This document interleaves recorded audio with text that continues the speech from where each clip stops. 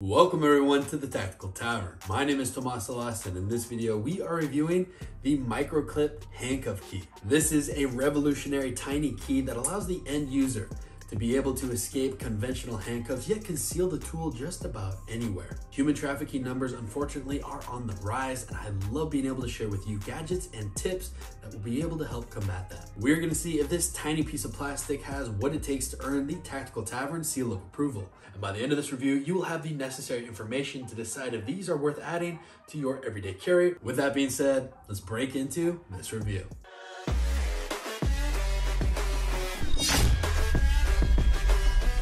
Before we begin, if you love gadgets gear and upgrading your everyday carry with unique accessories, take a moment to drop a like and subscribe for more content like this. At the time of this review, you can find a pack of four microclip handcuff keys for just $12.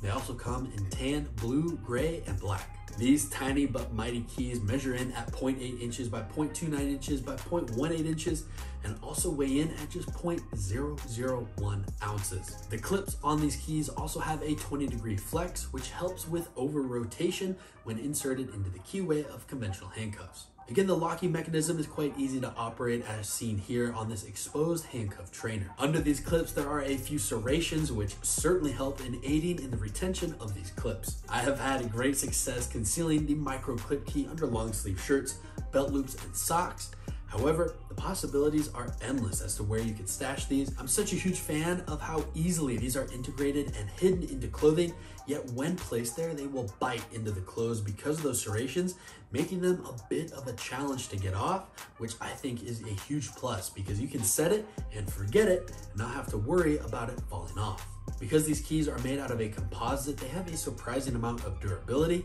which allows them to easily unlock, deadlock, or double locked handcuffs. This certainly beats having just a shim on you because those are only able to help you get out of single locked handcuffs, whereas having an actual key will be able to help increase your survival odds. Now, having those tools on you is a great step in increasing your survivability odds However, it will only go as far as your knowledge, which is why I highly encourage you to sign up for a counter custody class, which will teach you a variety of skills in order to get out of illegal restraints. Again, make sure you safely practice with the gear that you carry because you never know when it could save your life. Because the microclip handcuff key is undetectable, versatile, and easily concealable, it gets a 100% pass on the Tactical Tavern test. It is highly recommended that you add it to your everyday carry, especially if you're gonna be traveling into hostile regions or working a undercover mission. I want this video to also serve as something to look out for, especially if you're into security, law enforcement, or bounty hunting.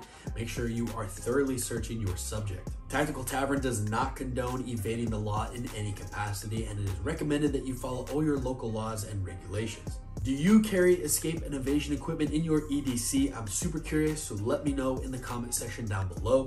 As well as if you enjoyed this video or you found any value from it, please make sure to drop a like, share, and subscribe because it helps grow the channel.